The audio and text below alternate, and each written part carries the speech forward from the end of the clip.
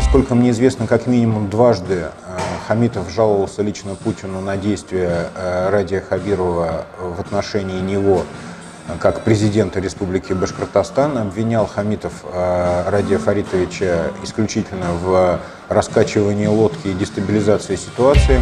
Теперь, наверное, мы можем с большей долей вероятности судить о том, какой сценарий э, решения вот этой проблемы конфликта э, двух ключевых фигур в республике был реализован Кремлем. Ни для кого не секрет, что Хамитовская команда э, всеми силами сейчас пытается проникнуть э, в новую администрацию нового губернатора. Э, Все то, что мы сегодня говорим и обсуждаем, это всего лишь предположение, мысли, рассуждения о том, что будет, а то, что мы увидим впоследствии, на самом деле и будет ответом на все наши вопросы.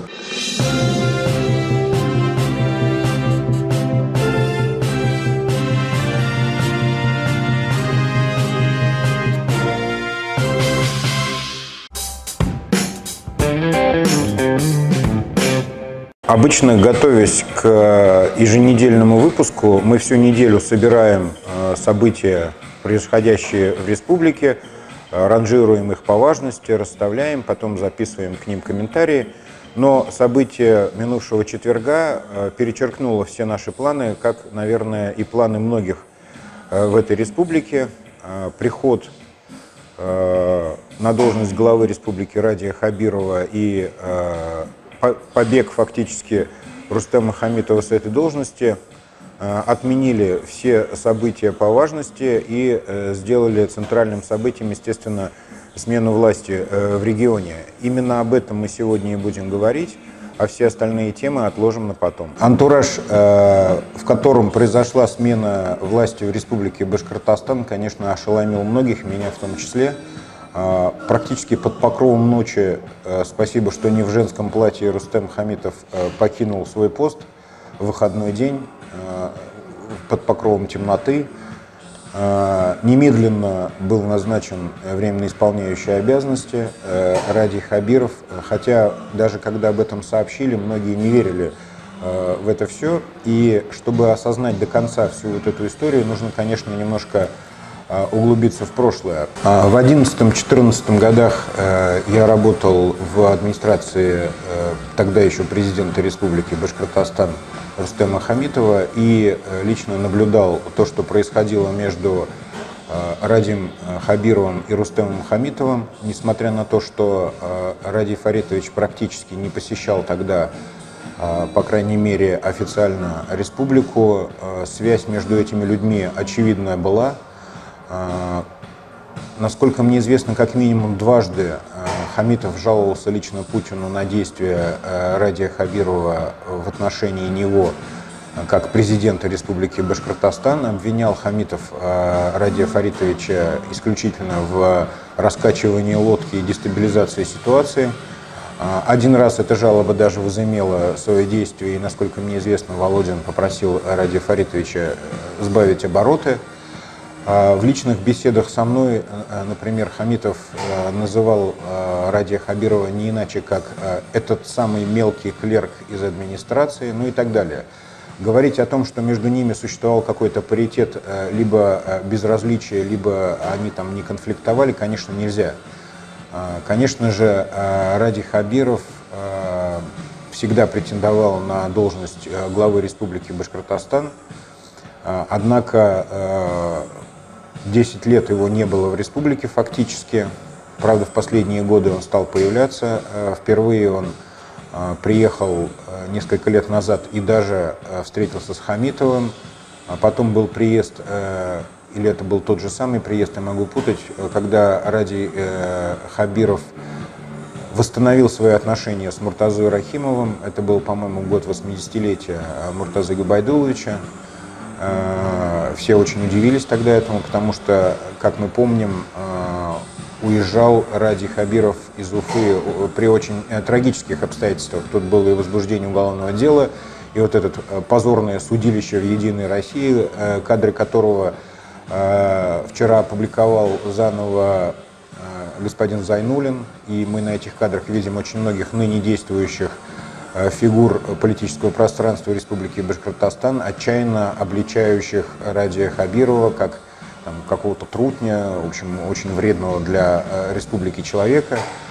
Так вот, подытоживая эту ситуацию, говорить о том, что Ради Хабиров появился в республике в состоянии благостного отношения с Рустемом Хамитовым, конечно, нельзя.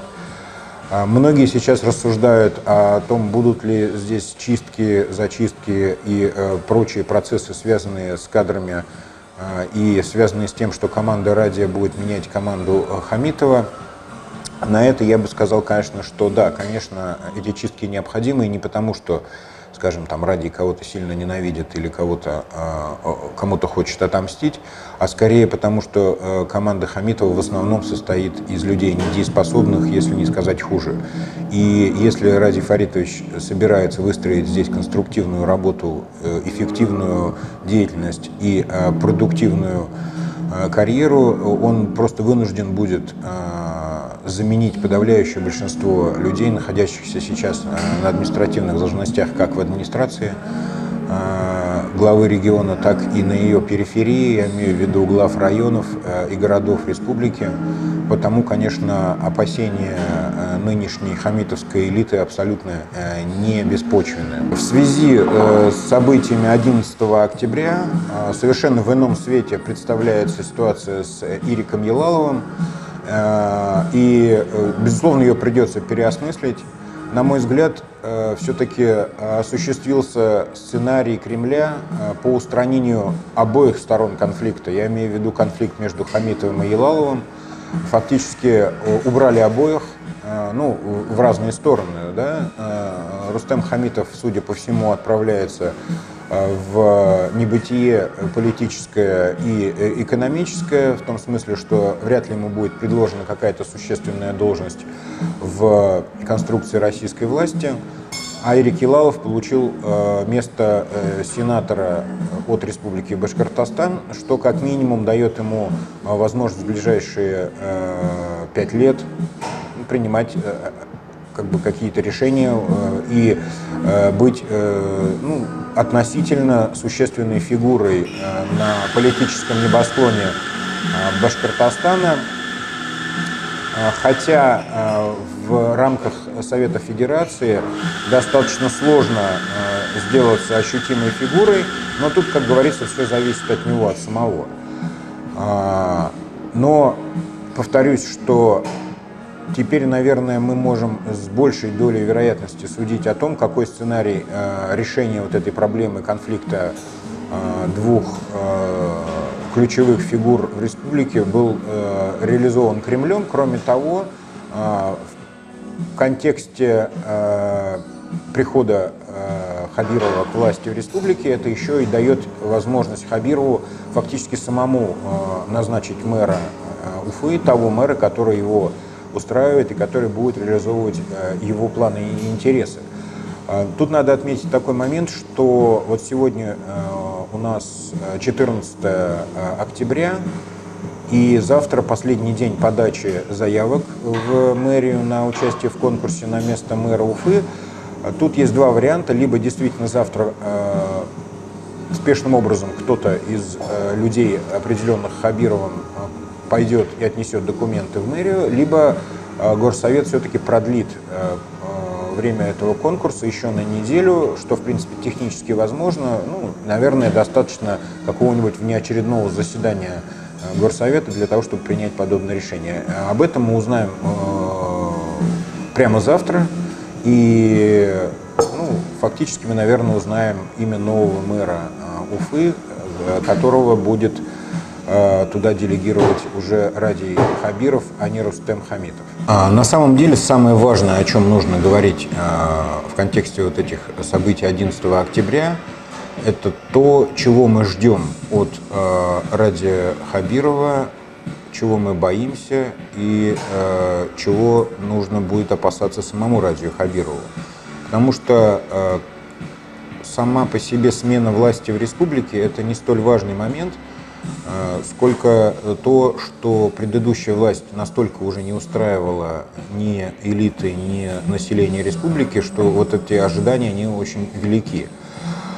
А, но прежде чем перейти к этому важному аспекту, нужно а, классифицировать и разобраться в том, а, кто ждет и ждал прихода Хабирова, кто ему радуется, а кто не очень, и кто, в общем-то, не ожидал его прихода к власти в регионе.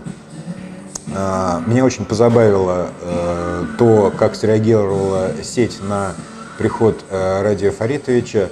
Э, с удивлением я обнаружил э, порядка пяти тысяч э, одногруппников Радия Фаритовича по институту. Еще несколько тысяч человек ходило с ним в детский сад. И абсолютно несметное количество людей обучалось у него, либо обучали его чему-то. В общем-то, наверное, обитатели сетевого пространства практически все оказались близко знакомыми, либо друзьями Радия Хабирова. Это очень смешно. А, я надеюсь, что Ради Фаритович э, набрался уже опыта и способности разделить э, вот эти фальшивые э, комплименты и не пойти на поводу значит, вот этих вот посылов. Ну ладно, это все мелочи. Конечно же, воспряли духом те люди, которые были гонимы по признаку хабировских, так называемых, Э, которые остались все еще в республике. Какая-то часть э, людей ради э, приехала из Красногорска, возвращается в Уфу.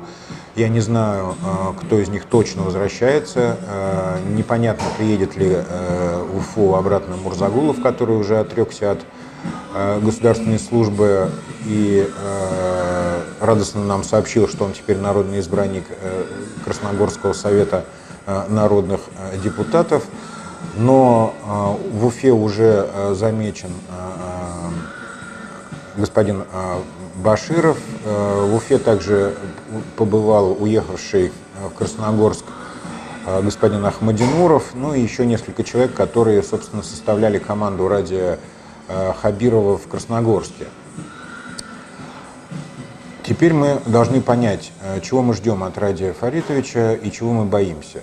Конечно же, по прошествии 10 лет в Уфу вернулся не тот Хабиров, который уезжал отсюда, и все связанные с тогдашним Хабировым вот эти демонические истории о фальсификациях выборов, поджогах типографии, всевозможных вот этих вот забавах того времени, они, конечно, наверняка канули в лету, Ради Хабиров прошел э, суровую школу работы в администрации президента э, Российской Федерации.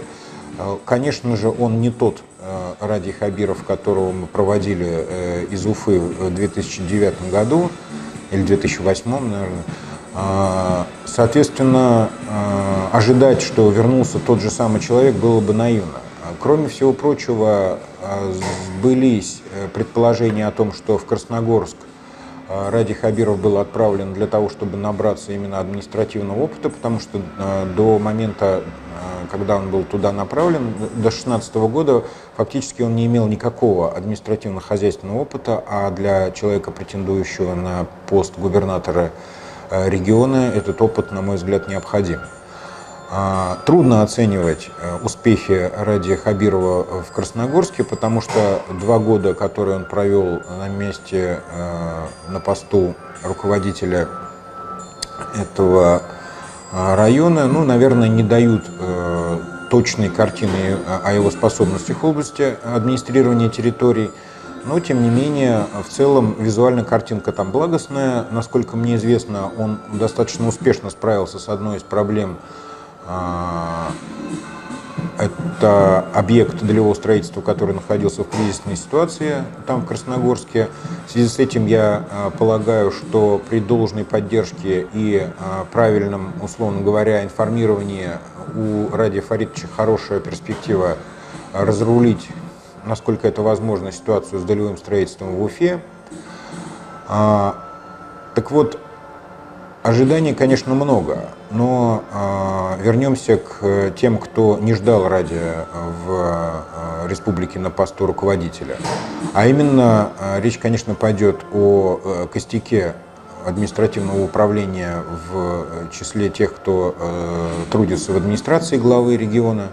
Э, трудно, конечно, сейчас предсказать судьбу этих людей, однако я полагаю, что было бы целесообразно э, полностью разогнать э, управления внутренней политики, потому что оно окончательно дискредитировало себя, даже невзирая на приход Ради Хабирова. Останься здесь Рустем Хамитов, он тоже должен был бы, наверное, это сделать, потому что господин Азаматов и всякие прочие Димы Черенковы окончательно разложили, развалили эту работу в республике и абсолютно а, понятно, что они не в состоянии эту работу наладить. И если сейчас начнут говорить о том, что эта же команда сможет а, вести эффективную работу, стоило бы задать им простой и понятный вопрос, почему же вы этого не делали раньше. А, безусловно, тучи сгустились и над ключевыми вице-премьерами правительства. Я говорю о господине Сагитове, который, на мой взгляд, первый претендент на вылет Конечно же, э, господин Тажидинов, который сыграл очень э, заметную роль в дискредитации самого Ради э, Хабирова в момент конфликта между Хабировым и Рахимовым. Я думаю, что такие вещи не прощаются, да и сам по себе Тажидинов достаточно токсичен для нового, условно говоря, руководителя республики. Вообще, конечно, э, кандидатов на вылет в правительстве более чем достаточно.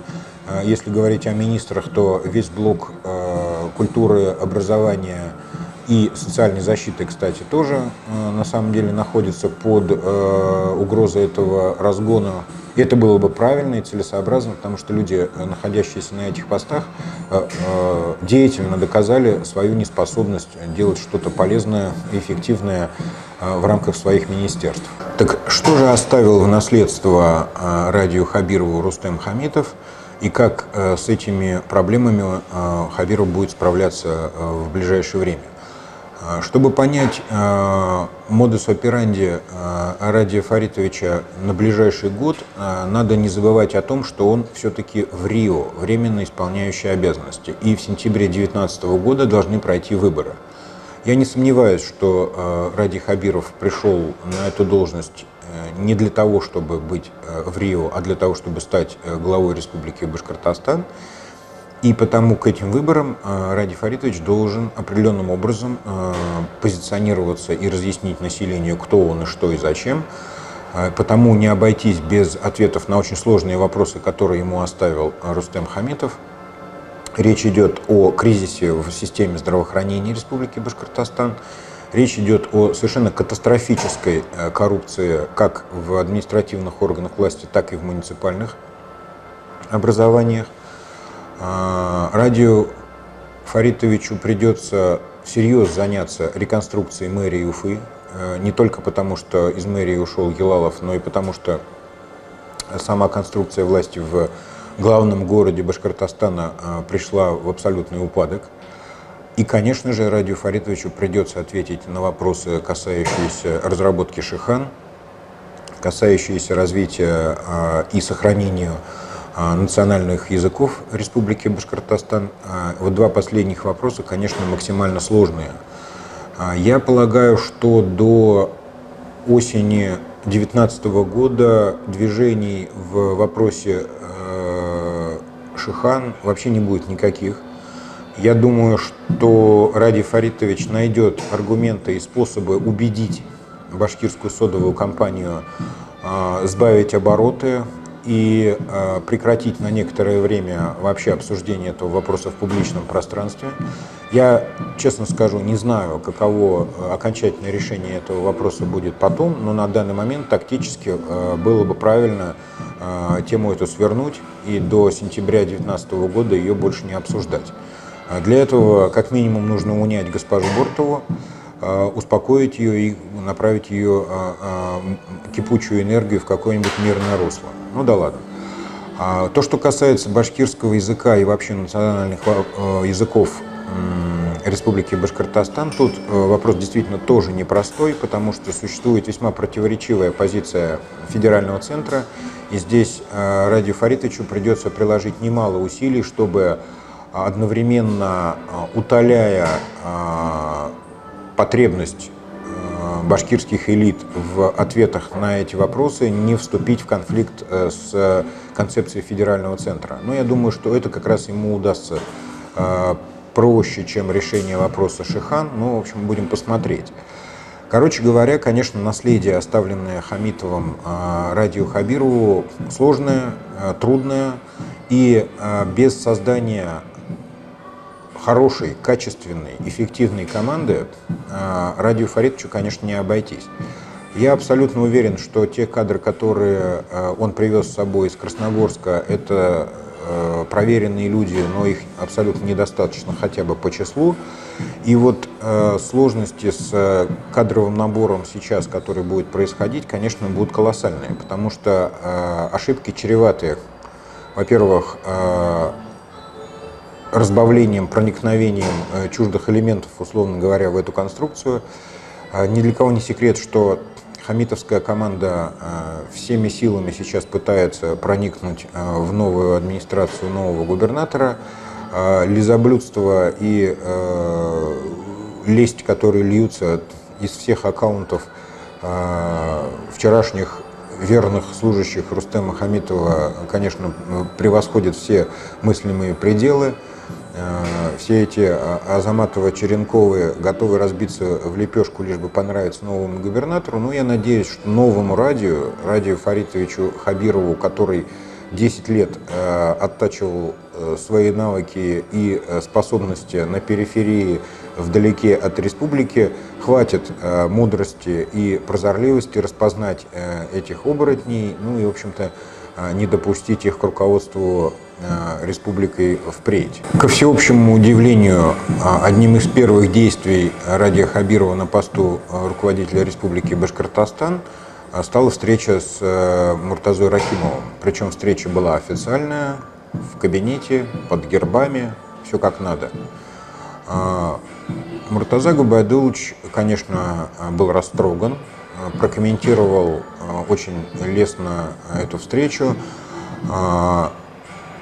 Впрочем, не забыв э, упомянуть, например, там, нежелательные элементы в конструкции новой власти. Э, в частности, Муртаза Губайдович э, очень жестко прошелся по Ростиславу Мурзагулову. Ну да ладно, это старые счеты. Честно говоря, многие вздрогнули от этого факта, от встречи, я имею в виду Муртазы Рахимова и Радия Хабирова.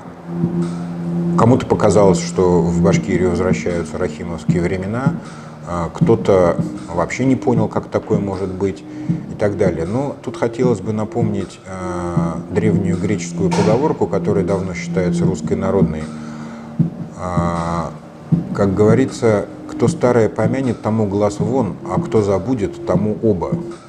Так вот, я не думаю, что Ради Фаритович забыл то, что происходило с ним а, в Башкирии в момент его изгнания отсюда. Однако я полагаю, что у него хватает а, и ума, и такта, и а, фактически такой политической хитрости, чтобы найти общий язык с первым президентом Республики Башкортостан. И по сути он, я имею в виду Ради Хабиров, фактически исправляет те грубые ошибки, которые совершил Рустам Хамитов, придя э, к власти в республике. Я имею в виду то, что э, Хамитов в э, самые краткие сроки сумел испортить отношения не только с самим Муртазой Рахимовым, но и вообще со всей предыдущей элитой республики, тем самым навлек на себя все беды и неприятности, которые впоследствии и завершились его позорным уходом с должности. Ради Хабиров оказался мудрее э, Хамитова, и он продемонстрировал нам, что он готов сотрудничать э, с любыми силами в Республике Башкортостан, даже с теми, кто фактически являлся его гонителем в свое время. И я очень надеюсь, что подобная способность нового руководителя республики принесет большее благо в части руководства регионом, чем вот это вот Э, абсолютно безоглядная и бессмысленная жесткая позиция Хамитова, которая фактически принесла ему только вред, да и нам с вами тоже. Надеюсь, что Ради Хабиров э, окажется более мудрым руководителем республики как минимум, а, а там уже посмотрим. И вообще, э, все то, что мы сегодня говорим и обсуждаем, это всего лишь предположение, мысли, рассуждения о том, что будет, а то, что мы увидим впоследствии, на самом деле и будет ответом на все наши вопросы и э, те загадки, которые нам э, сулит вот это вот феноменальное событие 11 октября 2018 года.